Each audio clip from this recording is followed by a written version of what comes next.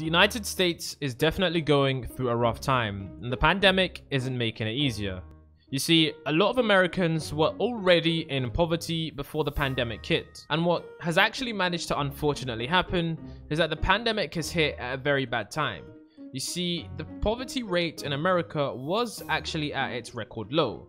This doesn't mean that many Americans weren't still living in poverty, it just means that relatively compared to the last years, that the poverty rate was somewhat low. However, since the pandemic has actually begun, the poverty rate has somewhat skyrocketed, and this isn't going to get any better, because not only has poverty skyrocketed, but it seems that the poverty has actually skyrocketed permanently. And as we all know, the pandemic has actually made some temporary changes permanent changes. As we can see by this article, it says US poverty hit a record low before the pandemic recession. The share of Americans in poverty in 2019 declined and the median incomes were the highest on record, a Census Bureau report shows. It does say that the share of Americans living in poverty fell to 10.5% in 2019, down 1.3% from 2018. And these are the lowest estimates since 1959 and household incomes actually managed to increase all the way up to 60. So we know that the poverty wasn't that bad, but it's actually just expanded what was already going to happen. The rich and the wealthy are actually getting richer whilst the poor are still getting poorer. And this is something that has been happening for a very long time. But now with the recession, many people don't have access to jobs that they need and the poverty is actually skyrocketing. The populations who are hit the hardest by coronavirus are those with the least stable access to insurance coverage, said Katherine Baicker, the Dean of the Harris School Public Policy at the University of Chicago. And we all know that minority and disadvantaged groups are often more likely to have underlying health conditions and are more likely to work in jobs that cannot be performed from the safety of their homes. And that means that these people, unfortunately, were either laid off or left exposed on the front lines. And we know that jobs that you can't do from your home are most likely blue collar jobs, jobs like being a janitor. And I was saying, blue collar jobs, we do know that some of these have actually been moved off. You see, everyone is moving towards the work from home environment, and as these jobs slowly and surely get phased out, we know that it leaves a lot of people without work. And right now, the poverty is very bad. As you can see right here, 8 million Americans slipped into poverty amid the coronavirus pandemic, a new study says. And this new study is actually really interesting. You see, the paper is here and I've been reading through this and it's actually pretty shocking at what's going on. And if we look at this and as we go into this, you're going to see that the American population almost certainly needs another stimulus check. Because if it doesn't, I genuinely don't know what's going to happen to the economy because COVID-19 has almost certainly caused some long-term effects on the economy that will be felt for a very long time if there isn't some sort of external intervention that takes place with the economy. But first, let's read this article. It states that the number of Americans living in poverty grew by 8 million since May, according to a Columbia University study which found an increase in poverty rates after early coronavirus relief ended without more to follow. And we all know that the coronavirus relief was basically the stimulus check. So the Federal CARES Act, which gave the Americans the one-time stimulus check of $1,200 and unemployed workers an extra $600 a week, was successful at offsetting growing poverty rates in the spring. But the problem is that the coronavirus is still here and now that the money's run out, people are still once again moving towards poverty. It says that the CARES Act, despite its flaws, was broadly successful in preventing large increases in poverty, which is good. But the Federal CARES Act is now gone, and now the families that use the money are still somewhat struggling. Because, like we said, although the coronavirus put the country on lockdown, some jobs just haven't come back, and this isn't good. So, the big takeaway is that for a while, the unprecedented government expansion of unemployment insurance and the stimulus payment did manage to do a successful job of keeping families out of poverty, which is good. The stimulus actually managed to work. But as you can see, the lack of unemployment is actually really bad. People will most likely need another stimulus if we don't somewhat manage to defeat the coronavirus. And it also continues to say high levels of poverty, food insecurity, and hardship will likely intensify in the absence of further income support.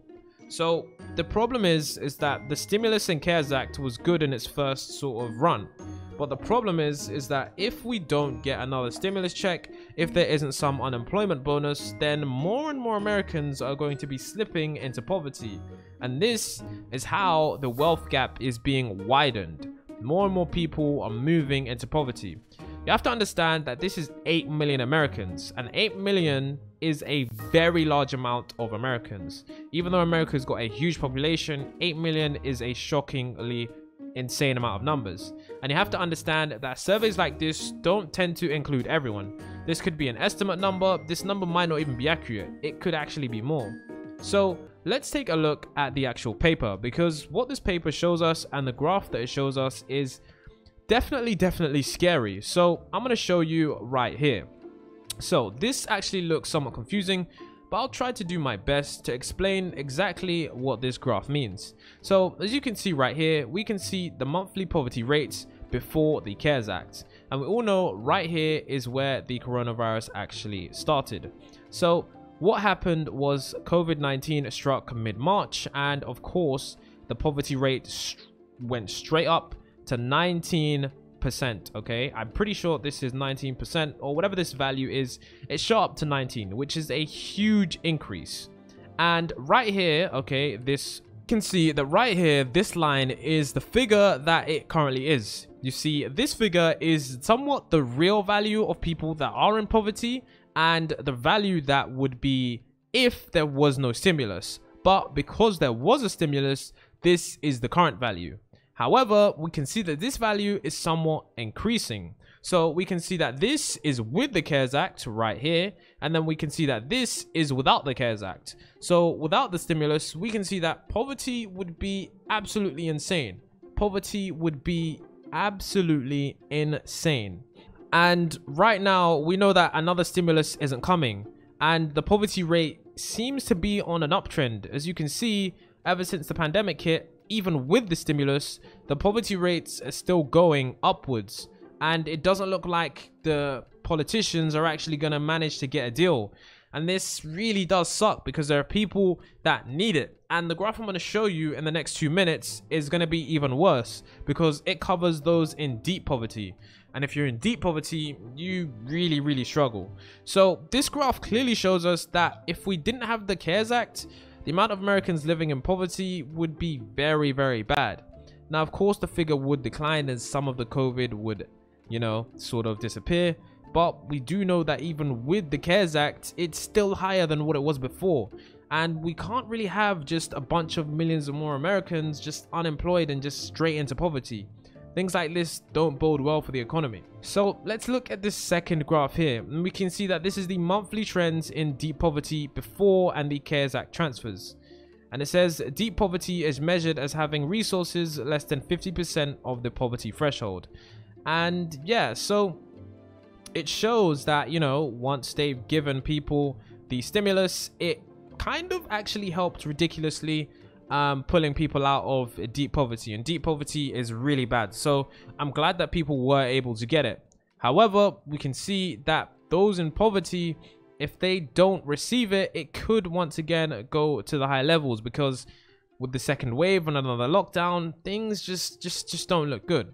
You see, this graph doesn't seem too different as you can see, but when it comes to this graph, we can see that once again, values are 15.3 and this value is 17.3 so we know that the stimulus is most certainly needed. So it says that thus while the cares act succeeded in blunting the rise in total poverty. Our estimates suggest that it was not as successful as reducing the levels of deep poverty and it may be in large part due to the imperfect coverage rates of the cares act income transfers.